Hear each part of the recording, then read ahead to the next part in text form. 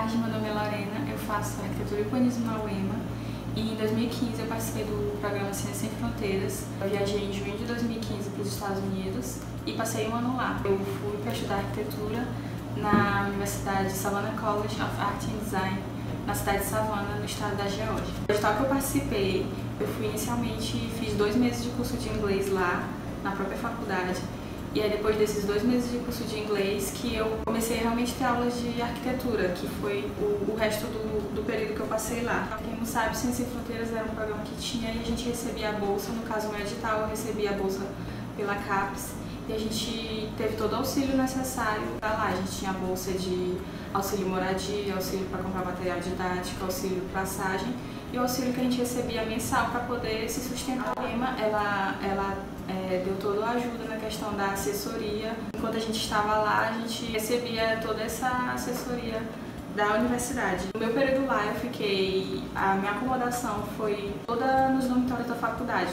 Nos dois, dois meses de curso de inglês, eu fiquei num dormitório que era de apartamentos e eu dividi com uma menina, era um quarto e era bem localizado no centro, então foi mais fácil a adaptação na cidade. E assim que eu fui, porque eu realmente comecei a ter aulas de arquitetura, a gente foi colocado em outro, dormi, em outro dormitório da faculdade, que eram casinhas, né? E aí eu dividia com mais duas meninas. E a acomodação na faculdade era muito boa. E a faculdade que eu fiquei, eles acolheram muito bem, não só nós brasileiros, mas todos os estudantes estrangeiros. Então, eu acho que isso facilitou muito a nossa período que eu fiquei lá. Os professores, a maioria eles eram muito acolhedores e a metodologia deles também era muito boa. E eu creio que a maioria dos brasileiros conseguiu acompanhar muito bem o ritmo da, da faculdade. Sobre a metodologia da faculdade. É, lá o, o período ele era, não era dividido em semestre, era trimestre. Então a gente só podia fazer três disciplinas por trimestre. Eram mais ou menos, eu acho que 20 aulas que eles tinham que dar todo o conteúdo. Então o ritmo era um pouco acelerado então, toda aula eles passavam atividade para a gente fixando o tema e, e fazendo as atividades, né? Eles recomendavam que a gente pegasse duas aulas, duas disciplinas que fossem, digamos, projeto, que eram mais puxadas, e uma disciplina que era como se fosse palestra, uma disciplina mais teórica. Então, era, essa era a recomendação da faculdade para que a gente é, conseguisse acompanhar o ritmo. E a gente tinha aula de segunda a quinta e a sexta-feira era livre para a gente tirar dúvida. E aí a gente combinava com os professores, a turma e etc. para ter esse dia para eles tirarem dúvida e facilitar a nossa, nosso aprendizado. E aí a gente tinha né, essas atividades que sempre valiam pontos e a gente tinha uma, como se fosse uma prova ou trabalho no meio do período e a prova ou trabalho no final do período. Né? A maioria que eu fazia eram trabalhos por conta do meu curso, que era arquitetura e urbanismo, Lá eu estudei arquitetura, no caso, e eram muito, muitos projetos. Então, era, era mais ou menos assim que funcionava a, o ensino na faculdade. Então, é, eu escolhi os Estados Unidos pelo ser um país de referencial na arquitetura e urbanismo, mas também foi por questões um pouco pessoais, porque é, muitas pessoas de arquitetura iam para a Europa só que, como eu nunca tinha ido para fora do país, eu tinha um receio de acontecer alguma coisa, eu precisar de água, então eu também acabei escolhendo um país que eu tivesse alguém conhecido.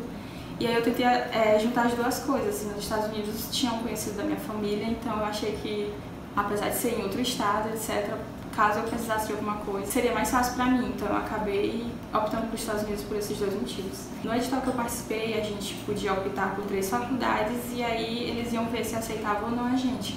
E eu coloquei a, a SCAD, né, que é a sigla que a gente chamava faculdade, porque eu não conhecia na verdade, nunca tinha ouvido falar antes, mas quando a gente começou a pesquisar eu vi que os brasileiros que já tinham ido para lá falavam muito bem da faculdade, essa questão do acolhimento. Eu gostei muito da grade curricular, né? A, a faculdade era muito voltada para a questão de, de artes, questão do design, então é, eu gostei muito da, das disciplinas que tinham lá e que eu achei que seria muito proveitoso para mim, para o meu ensino. Então eu coloquei como primeira opção por isso. E também tinha a questão que eu olhei pela cidade, né? Me familiarizar seria melhor em uma cidade pequena. Achei que seria uma coisa mais fácil, que a minha experiência poderia ser mais proveitosa em uma cidade pequena. E aí foi mais ou menos esses motivos que fez eu escolher a faculdade felizmente eles me aceitaram. E eu só tenho elogios sobre, sobre o meu tempo lá nessa faculdade. É, a experiência que eu tive é, do Ciência Sem Fronteiras foi muito enriquecedora a gente cresce muito academicamente porque a gente vê o ensino em outro país, como é que funciona. como é que eles abordam a tua, o teu curso, né? Uma outra realidade, uma outra cultura e tu aprende muito. E como eu fui para uma faculdade que tinha muitos estrangeiros, a gente acaba aprendendo coisas também de vários outros países.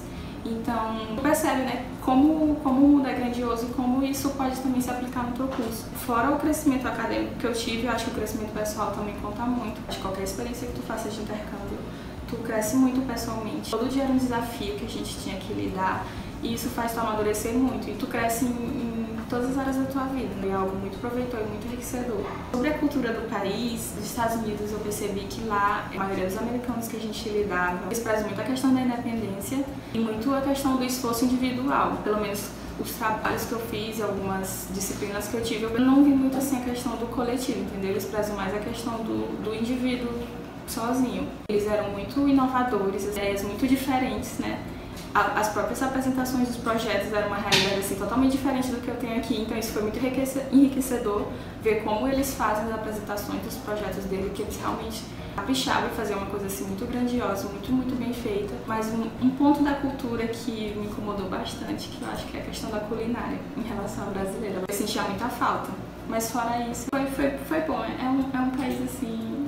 Tem suas, tem suas qualidades, né? E alguns pontos que a gente demora para se acostumar. E as lições que eu acho que eu tirei do programa é que a gente deve sempre buscar aprender sempre mais, conhecer mais, né? O mundo ele é tão vasto e tem tanta coisa para oferecer, então eu acho que foi muito isso que o programa trouxe para mim, né? De abrir meus olhos, tanto que quando eu voltei, eu acho que eu voltei pro meu curso com, com um olhar mais aberto para as possibilidades, que eu poderia aprender mais, eu poderia me envolver em mais coisas extra classe, assim, então eu acho que foi muito isso que o programa também trouxe para mim. Uh, Believe you can and you are halfway there. É, eu tenho essa frase comigo porque a minha participação no programa foi muito de eu começar a acreditar em mim mesmo que eu poderia estudar em outro país, porque às vezes a gente coloca algumas barreiras na nossa própria cabeça. Quando eu passei a acreditar muito que eu tinha potencial, que eu poderia ir, as coisas foram se tornando mais fáceis. Eu corri atrás e eu consegui. Então, é muito disso. Acredite que você tem potencial e, e busque. Vá atrás do, do, dos seus sonhos e daquilo que você acredita, as coisas começam a funcionar.